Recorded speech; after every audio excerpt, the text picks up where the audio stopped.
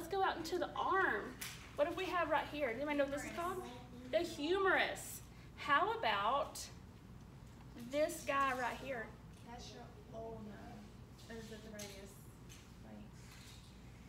Let's see, let me help you out. So this is this is supine position. Okay. What's that guy called? That's the radius. Yes. How did you remember that? Because y'all did that. Okay, I like it. That's good too. So thumbs up. Okay. Thumbs up is rad. Okay. Radius. Thumbs up is rad. Radius. Just a way to remember it. I like it. Yeah. I will remember from now. And then our ulna is this side, right? Yes. And so feel, the, feel this part on your elbow. That is your ulna. That's the olecranon of your ulna. So if I turn Madge's arm around here, Say it again. the olecranon. Olecranon. Olecranon. That's a bone. The olecranon is part of the ulna. Just like that medial malleolus is part of the tibia. Yeah, this is the part of the um, ulna, the olecranon. Yeah. Just a bony prominence. So if we come down, if we have our radius right here and our ulna right here, what might this be called?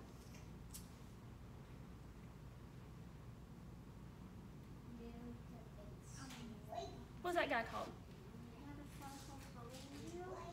What, what if, you, break it down anymore. What, what's our what's our typical term for it? Thumb. Thumb, right? It's our thumb. Yeah, our thumb. So if this is our thumb, then this guy would be our what? Pinky. finger. Yeah. Okay, so that just helps us kind of get oriented how we're going to name these guys. Okay.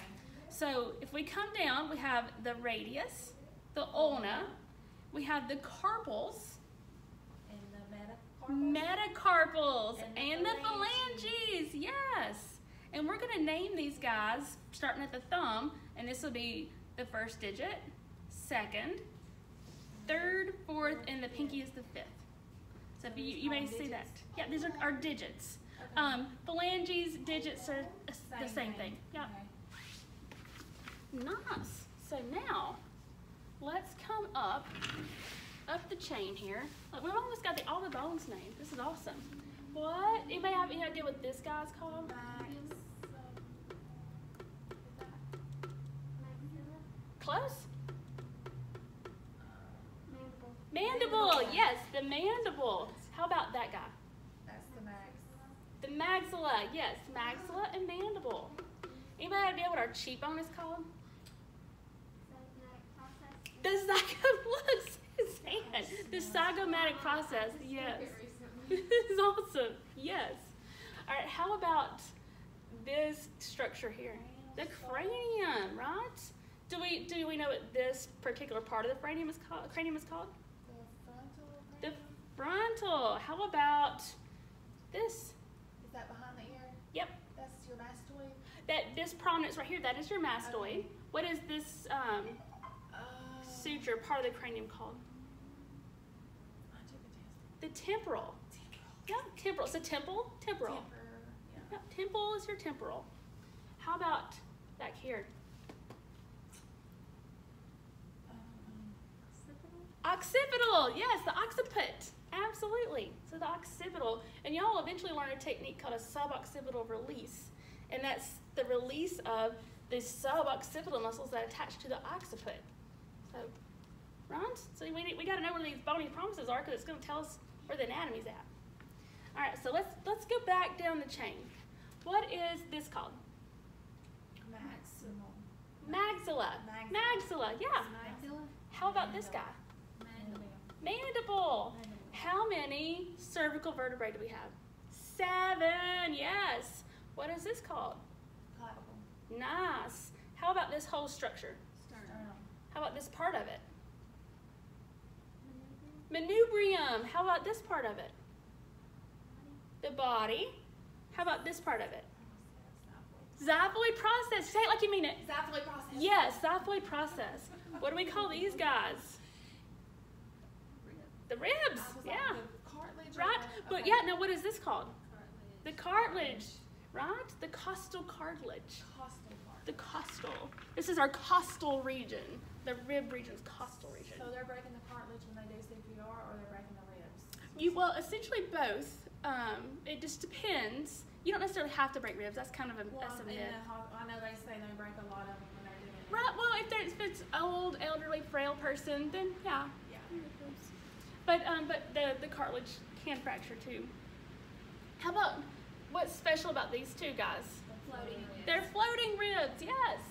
And then how many thoracic vertebrae do we have? Twelve, right? Right, because we have one for every rib. How about this guy? What's this guy called? Scapula. Scapula. What is this called? We didn't go over that before.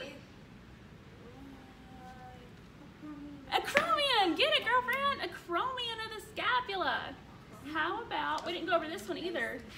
What is this little prominence called right here?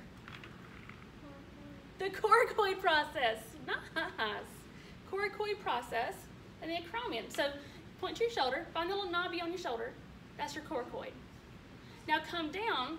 It's harder to find the, the or not, you know, this is your chromium. Sorry, I, I misspoke. This is your chromium. If we come down, you find your coracoid process. And that's gonna it's gonna come into play a little bit when we start talking about our muscles in just a second. The axilla. Axilla. Yeah, the axilla. Right, what is this called? That's your humerus. It is your humerus. Beautiful. What is this bone called? That's your ulna. It is your ulna. What is this one called? Radius. Yes. What is that called? Cubo, cubio? No, that is it. No, but what's the other word? You're supposed to know. Huh? The olecranon. The olecranon. Nice. How about these wrist bones here? What do we call those guys? Metatarsal? No, no, no. Carpotarsal. Carpals. Carpals. Yeah. And these are metacarpals. And those are metacarpals. Okay. And these then are phalanges. phalanges. Perfect. Good job. Or digits. Yeah. Just depending on uh, what text you're reading and, and who's referring to it. So every, almost everything has a couple of different names. Um, and you're not expected to know all the different names, but it's good to know if you hear something out there and you're like, I don't know what that is. Like you do, you just don't know it's called that too. I need my stuff. They're like, where's that? How many lumbar vertebrae do we have? Um, seven. No. Six. Five. Five. Yeah, five. How about what is this bone right here called? Five. What's it? What's the bone called? Say it like you mean it. Sacral. The sacrum, yes. We have, and we do have five fused together. That was perfect. Five fused vertebrae in the sacrum. What is that guy called? Coccyx. The coccyx. And a lot of people think the coccyx is not important. It's incredibly important. Um, one day we'll go over pelvic floor stuff, like coccyx where it's at. But what if we come down here? What are these guys called? That is your You say it, Josie. ischium. Ishi, it is your ischium. And what are these little prominences called?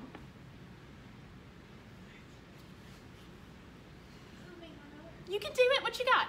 Ish. Ischium, but I don't know the rest of it. I can't How about you, Kyla? Can you tell me? I don't know. That's Ish- okay. Ischial tuberosity. Ischial tuberosities. Everybody say it. Ischial Ischial- tuberosities. Say it again. Ischial Ischial. tuberosity. Tuberosities. Tuberosity. Ischial. Ischial tuberosity. Yes. Ischial tuberosity. Ischial tuberosity. Yes. Ischial Those are the tuberosity. The the sit bones. The Oh. ischial tuberosity. Nice. What is this part of the pelvis called? The ilium. How about this part? The pubis or the pubic bone. How about this bone right here? Femur. Good job. How about this guy? Patella. Patella. How about this one? That is your Fibula. Say it like you mean it. Fibula. Yes, the fibula. How about this one? Tibia. Tibia. How about the heel? What's it called? Cas- Callosaurus. You got it? Callosaurus? I like that. You know what? I wish it was called that because that's way better. Suzanne, what, what, what, what, do we call that? The calcaneus. Nice. Nice. So everybody say calcaneus. Calcaneus. Calcaneus. Calcaneus. That's it. Calcaneus. How about these ankle bones? What are they collectively called? Meta. That's gonna be lower. So what are these called? Tarsals. The tarsals, and then these are the metatarsals, and And these the are the phalanges. Look at that. Y'all know all the bones. Y'all nailed it.